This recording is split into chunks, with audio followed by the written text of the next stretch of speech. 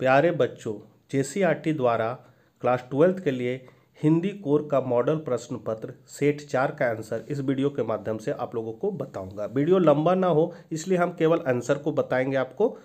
आप लोग क्वेश्चन को इकोनॉमिक्स प्लस चैनल के कम्युनिटी टैब से देख सकते हैं। शुरू करने से पहले आपसे निवेदन है कि चैनल को सब्सक्राइब कर ले, वीडियो को ज़्यादा से ज़्यादा ज़रूर शेयर करें, ताकि और भी बच्चों से लाभान्वित हो सके। तो चलिए हम लोग आज कुछ नया सीखते हैं।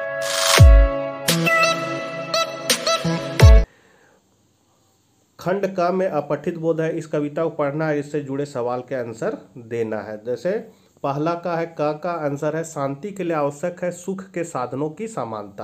ख का आंसर है, तेजस्वी लोगों की पहचान यह है कि वे अपने अधिकारों को हासिल करने के लिए संघर्ष करते हैं। वे या तो अपने हक छीन कर लेते हैं या लड़ते लड़ते मर जाते हैं। ग का आंसर है, युद्ध न्यायपूर्ण अधिकारों की प्राप्ति हेतु किया जाता है, वह निष्पाप होता है। अब ये कहानी को पढ़ना, इससे जुड़े सवाल के जवाब हम लोग को देना है। तो का का आंसर है, जीवन का सबसे बड़ा कलाकार वह है जो काम करने की विधि और संगति का चुनाव करना जानता है। ख का आंसर है, अच्छी बुरी संगति का चुनाव सबसे महत्वपूर्ण है, क्योंकि इसी पर हमारी सफलता एवं असफलता निर्भर है। ग का आंसर है, इसका शीर्षक है, जीवन में उपयुक्त चुनाव का महत्व अथवा उपयुक्त चुनाव की सफलता। अब खंड ख में आते हैं। खंड ख में मेरे जीवन का लक्ष्य या लोकतंत्र में चुनाव पर निबंध आपको लिखना है। तो सबसे पहले हम लोग मेरे जीवन का लक्ष्य। प्रत्येक व्यक्ति का जीवन में कोई ना कोई लक्ष्य होता है। लक्ष्य विहीन मनुष्य इधर उधर भटक जाता है। अतः प्रत्येक व्यक्ति को अपना लक्ष्य निर्धारित कर लेना चाहिए। मैंने अपना लक्ष्य निर्धारित कर लिया है, मैं बनूँगा तो डॉक्टर, लेकिन पैसा कमाना उद्देश्य नहीं। पैसा तो डॉक्टर के पास स्वतः सीमित रूप से चला आता है। भारत गाँव का देश है। डॉक्टर लोग देहातों में जाना नहीं चाहते क्योंकि वहाँ शहरों की चक्का नहीं होती, नगरीय सुविधाएँ नहीं होती। यहाँ तक कि जिस व्यक्ति का प्रारंभिक जीवन गाँव में ही बीता हुआ भी अब डॉक्टर बन जाने पर गाँव में नहीं रहना चाहता। वह भी शहर की लुभावनी चकाचौंध में खो जाता है, लेकिन मैं ऐसा नहीं करूँगा।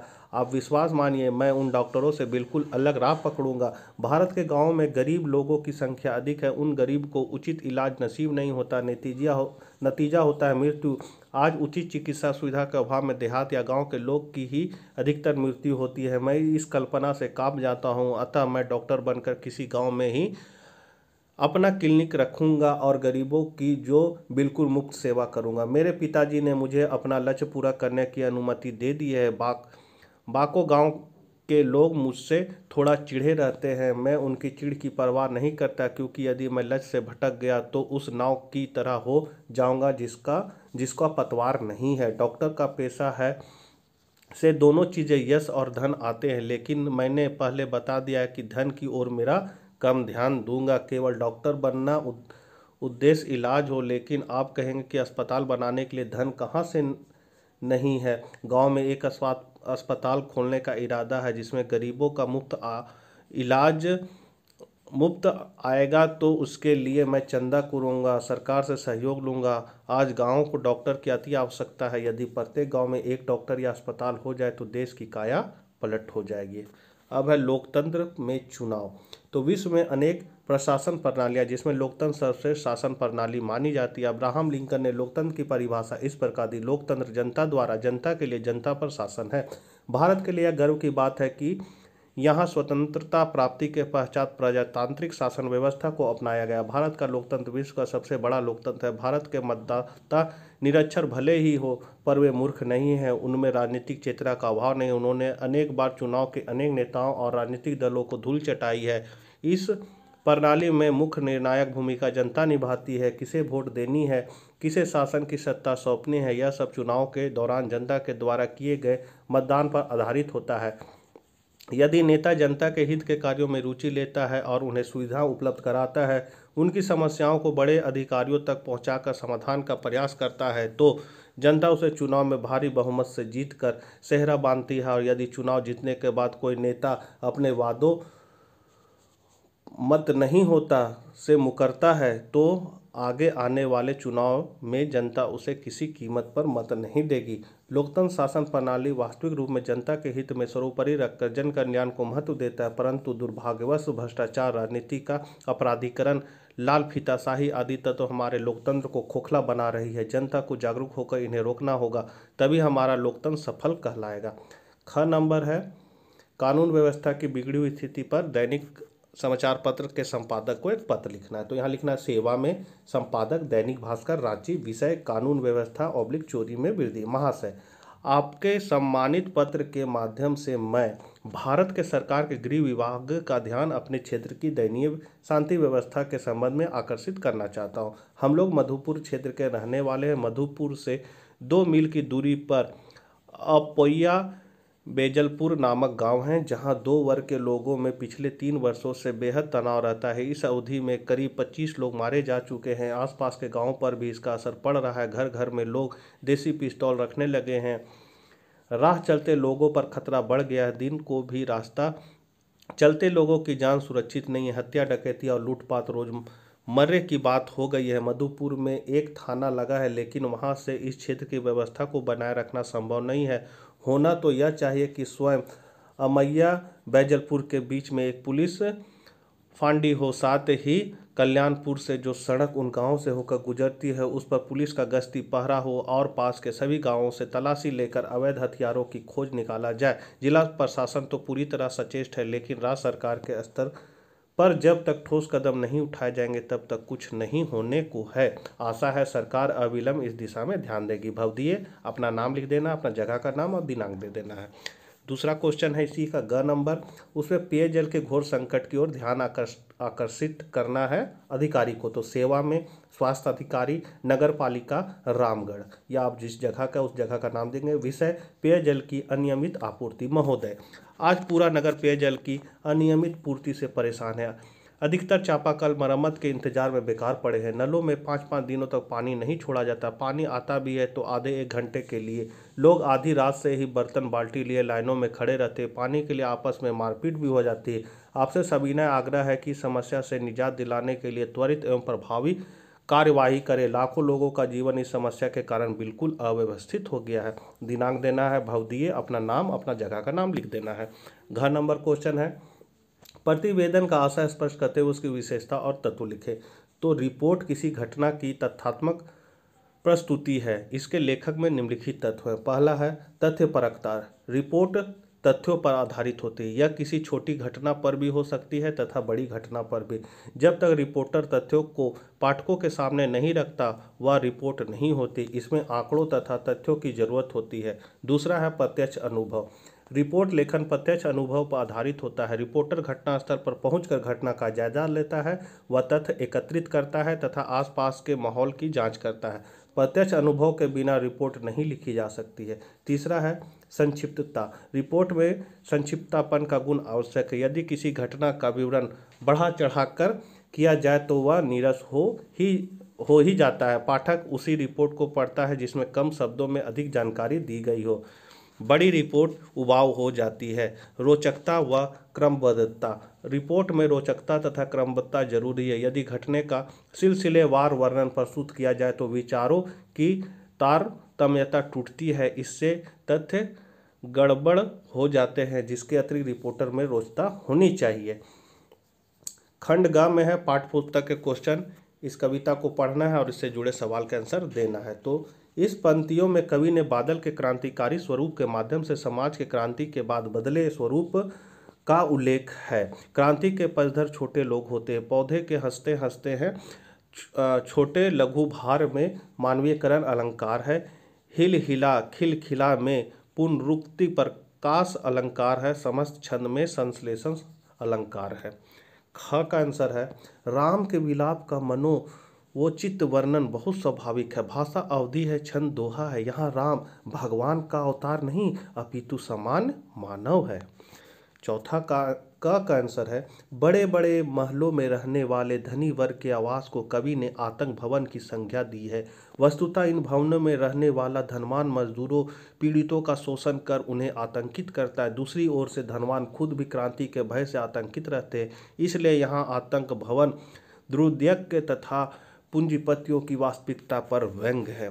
खा का आंसर है, यहाँ श्री राम का अपने भाई लक्ष्मण के प्रति स्नेह एवं प्रेम भाव दृष्टिगत होता है। श्री राम का लक्ष्मण के प्रति अटूट स्नेह है। वे लक्ष्मण के मूर्छित होने से व्याकुल हो उठते हैं। वे धन, पुत्र, स्त्री और परिवार के सामने सगे भाई को ज़्यादा महत्व देते हैं। ग का आंसर है इस रुबाई में कवि ने बालक की जिद एवं माँ की चतुराई का आकर्षण चित्रण किया। आँगन में खड़े होकर बालक चाँद को देखकर ठुनकने लगता है और चाँद को लेने की जिद कर रहा है। बालक का मन चाँद को देखकर ललच गया है और माँ उसे हाथ में आईना पकड़ा कर कहती है, लो, देखो, चाँद उतर आया है। पांचवा नंबर क्वेश्चन का का आंसर है, लड्डू मठरी के लालच के बावजूद जब लेखक पानी फेंकने के लिए तैयार नहीं हुआ तो जीजी ने समझाया कि यह पानी फेंकना अध्ययन देना है, दान देना है, त्याग है और बुआ, बुआई जैसा है। हम अभाव की स्थिति में जितना त्याग करते हैं, चौगुना अठगुना हमें वापस मिलता है। पाँच छः शेर गेहूँ बोकर हम तीस, चालीस मन गेहूँ पाते हैं, इसलिए यह पानी फेंकना धर्म, कर्तव्य और उचित है। ख का आंसर है, महामारी की विभिन्सिका झेल रहे गाँव में जब रात भर लुठन पहलवान को होलक बजती थी तो औषधि उपचार पथ विहीन प्राणियों में सजीवनी शक्ति भरती थी। वह आवाज़ बूढ़े बच्चे जवानों की स्पंदन शून्यता स्नायुओं में बिजली भर देती थी, दंगल के दृश्य साकार कर देती थी। वह आवाज़ गाँव वालों को मृत्यु भय से मुक्त कर देती थी। ग का आंसर है, लेखक ने केवल कानूनी प्राधीनता की स्थिति को हो दास्ता नहीं कहा है, बल्कि व्यक्ति से अपना पेशा या व्यवसाय चुनने की स्वतंत्रता छीन लेना भी दास्ता है। दास्ता में वह स्थिति भी आ सकती है जब व्यक्ति को दूसरों द्वारा निर्धारित व्यवहार एवं कर्तव्यों का पालन करने के लिए विवश होना पड़ता है। छठा का है, आंसर, तुलसीदास का रचना है, कवितावली और गीतावली। और धर्मवीर भारती का है, गुनाहों का देवता और बंद गली का आखिरी मकान। सातवां का आंसर है जूझ का अर्थ ही होता है युद्ध या लड़ाई। युद्ध आत्म कथात्मक शैली से लिखा गया उपन्यास है। इस पाठ का कथानाक स्वयं लेखक है, जो पाँचवीं कक्षा में फेल होने के उपरांत उसके पिताजी उसकी पढ़ाई पाबंदी लगा दी थी। पढ़ने को आतुर रहने वाला कथानाक भयभीत होकर पिताजी से अपनी पढ़ाई के बारे में बात नहीं करता था। समाज सुधारक व्यक्तित्व वाले दात्राजी राव की प्रेरणा एवं निर्देशन पाकर वह पढ़ने के लिए स्कूल गया। वर्ग में उपेक्षित होने के बाद भी वह विचलित नहीं हुआ। निरंतर अभ्यास के कारण वह सफलता की सीढ़ियों पर चढ़ता गया। वैसे विद्यार्थी जो पढ़ाई के प्रति आसक्ति नहीं रहते हैं, उन्हें कथानक का जीवन वृत्त सुनकर पढ़ाई के प्रति सजग हो जाना चाहिए। इसी का अथवा का आंसर है, एन फ्रेंग एक साधारण परिवार की लड़की है, जिसकी संवेदनशीलता एक सजग समझदार व्यक्ति के स्तर की। वह कहती है कि मेरे दिमाग में हर समय इच्छाएँ, विचार, आशय तथा डांट फटकार ही चक्कर खाते रहते हैं। गुप्त आवास में रहते हुए एन का संपर्क केवल अन्य सात व्यक्तियों से, इन सात में से वान दाम दंपति हमेशा उसकी नुकताचीनी करते हैं।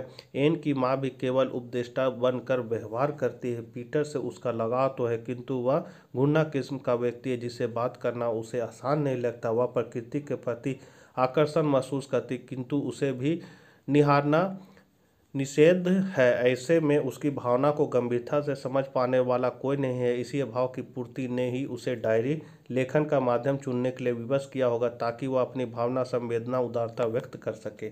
आठवां नंबर क्वेश्चन का आंसर है, लगभग डेढ़ साल पाठशाला से दूर रहने के बाद लेखक जब उसी कक्षा में पढ़ने के लिए पाठशाला पहुँचता है तो उसे मास्टर या पाठ्यक्रम का ज्ञान नहीं था। उसके सहपाठी भी गली के दो लड़कों को छोड़कर अपरिचित थे। अधिकांश लड़के उससे छोटी उम्र के थे।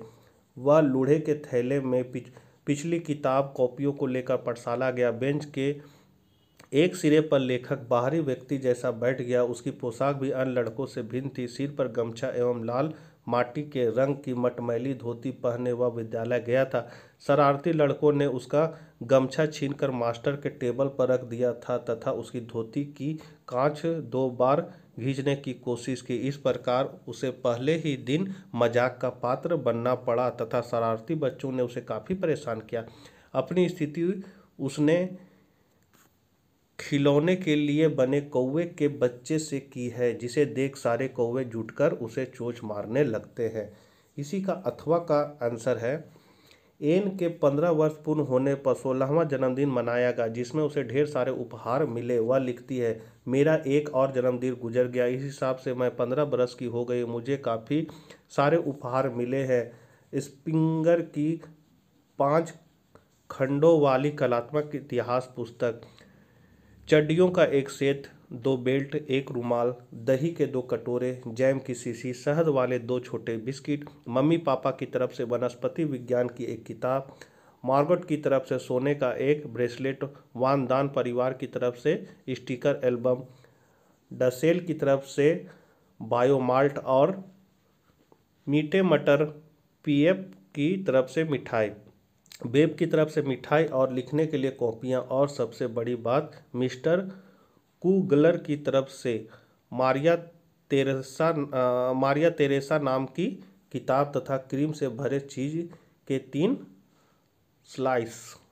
पीटर ने पियोनी फूलों का खूबसूरत गुस्ता दिया। बेचारे को ये उपहार जुटाने में अच्छी खासी मेहनत करनी पड़ी लेकिन वह भी कुछ और जुटा ही नहीं पाया। तो बच्चों, वीडियो को ज़्यादा से ज़्यादा ज़रूर शेयर कीजिएगा। मिलते हैं नेक्स्ट वीडियो में।